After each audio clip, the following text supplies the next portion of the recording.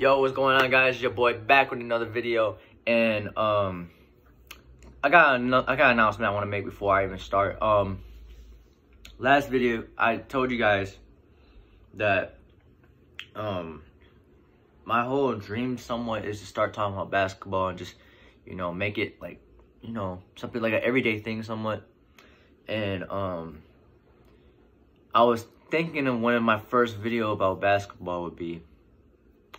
And why not why why not start with the NBA finals coming up? And some of y'all, you know, know me. I love basketball a lot, bro. And I I always talk about basketball on my Snapchat, Twitter, not Twitter, Instagram. I'm thinking about making a Twitter though. I'm thinking about making a Twitter. But um but yeah, my first video about basketball and shit probably be now that depends on when the finals end because or when the finals start or when the conference finals end for the East because the Lakers clinched their, their um finals berth last night and man, I am so happy for the Lakers, man. Shout out to Bron and AD, baby. Lakers, Lakers 2020, bro. They have to do it for Kobe. I'm just gonna keep it. I'm just gonna keep it at that. They they gotta do it for Kobe. Um um all right, getting back to what I was gonna say. I really don't know when the series is gonna end between Boston and Miami particularly because we've seen comebacks already this year 3-1 and granted both of them was the nuggets. But i feel like you know when when the team is down 3-1 and they win game 5 they usually have some moment not momentum they have a little momentum but a lot of confidence to think they can win two more straight. So boston is technically the better team it's just the better team is not playing like it. So i kind of see boston winning game 6 and man, I really was going for Miami, but man, after game five, it's just the problem with Miami is they're so they're so inconsistent. Like games one and two, they are start their um games one and two. Like game one, they were down twelve in the fourth quarter, came back and won. Game two, they were down sixteen at halftime. Then they started playing the zone. Then they ended up winning the game. Um, game four, they were up at half or some. I think they were up like ten or twelve in the first half. Then Boston comes out of nowhere and just starts getting it going. Game five, Miami was up, I want to say 12 again, 11, maybe 13. And then my and then Boston just comes and blows them out. So if Miami can be consistent in game six, you know, just like a wire to wire win, then they're gonna go to the finals. But if Boston keeps on exploiting that zone, which I keep saying Miami needs to stop playing zone. They can't play zone all, all, all, like the whole game. They can't play zone the whole game. It works for some teams. I mean, I mean it's worked for Miami, but you know, it's different with the Bucks than the Celtics because they all know who to stop with. Gian- they all know who to stop with the Bucks, and that's Giannis. But I mean Middleton maybe, but that's it. And everybody's everybody's a shooter. With Boston, you got like three stars in Jayson Tatum, Jaylen Brown, and Kemba Walker, right? And then you got who else is in your starting lineup? Um, Gordon Hayward, which he's somewhat of he's a he's a big factor in that lineup, but you know he's not the 25 per game scorer like he is um before that injury. And then da- Daniel Theis. So, um, they got three stars to worry about. You could do man, but I feel like Duncan Robinson and Tyler Herro, which I love Tyler Herro and Duncan Robinson a lot. I feel like they get a lot. I think they'll get exposed a lot, like ISOs and stuff like that.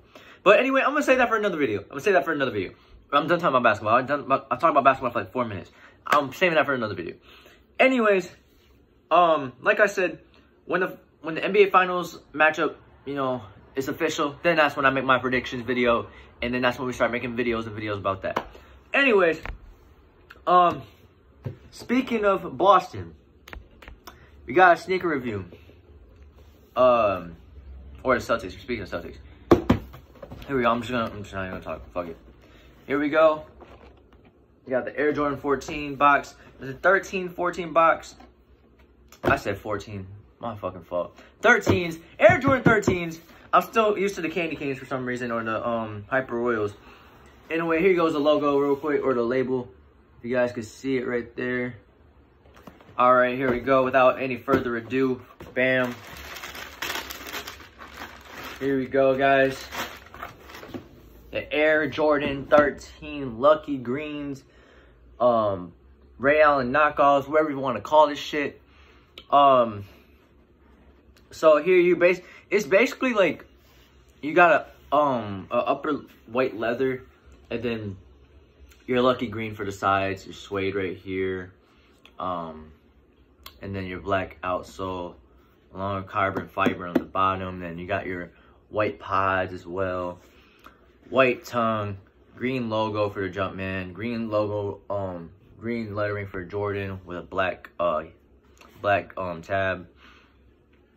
Um, I wish I could just like you know like do the flash or something like that because you have that little 3MB liner or something like like all around here. And a lot of people got turned off because of that. I really don't know why they got turned off because of that.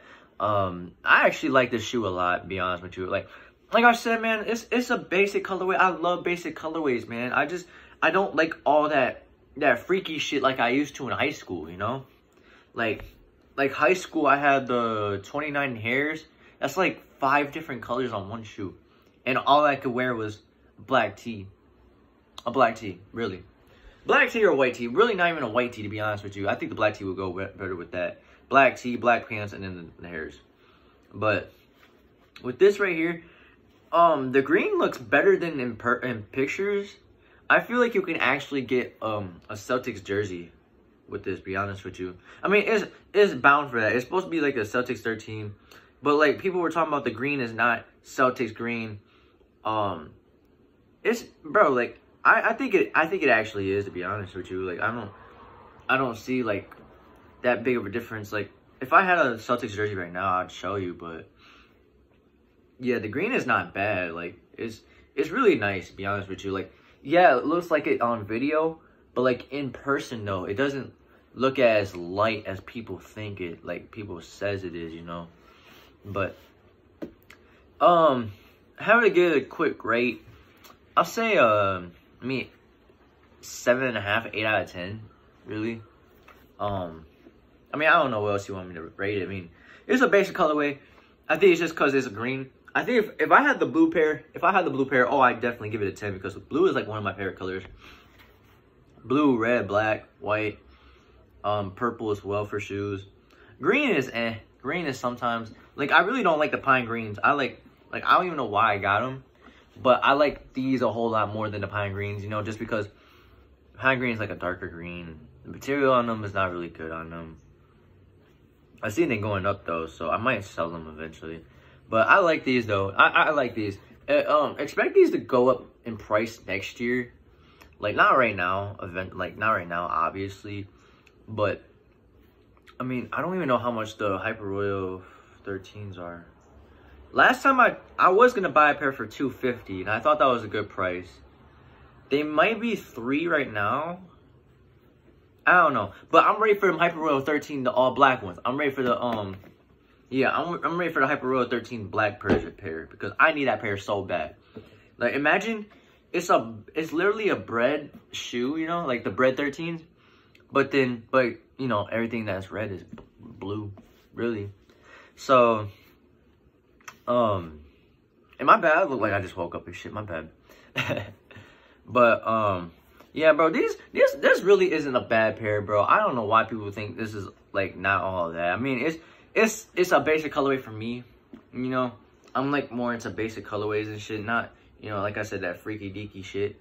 But um, but yeah, you know what? You know what? Now I now I kind of see why people don't like the um the liner.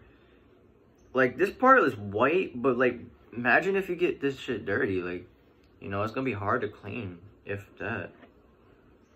Yeah, I'm gonna have to spray some of that um repellent on there. But uh, let me know what you think about these. What do you think about the Air Jordan 13 Lucky Greens? Um, if you had to rate it 1 to 10, I say I give it a 7.5 out of 10. 7.5, 8. That's a fair, that's a fair rating. That's a fair rating. But, um, make sure you guys leave a like. Um, if we can get to a fucking, man, um, if we can get to like 100 likes or something like that, which I don't even, I don't even have that much subscribers, so I don't even know why I'm asking for that much. But like that's why I say make sure you guys comment, subscribe, share, all that shit, subscribe, share this channel and this and that. Um, I'm gonna be having a sneaker collection um video coming up soon. I just want to get a couple more pairs and you know, I just, I just want to cop a couple more pairs and that's it. I really just want to cop a few more pairs and then bam, we can get started on that. Um, but make sure to leave a like on the video, comment, subscribe. Let me know what you think about the Air Jordan 13 Lucky Greens. And until the next video, I'm out. Peace.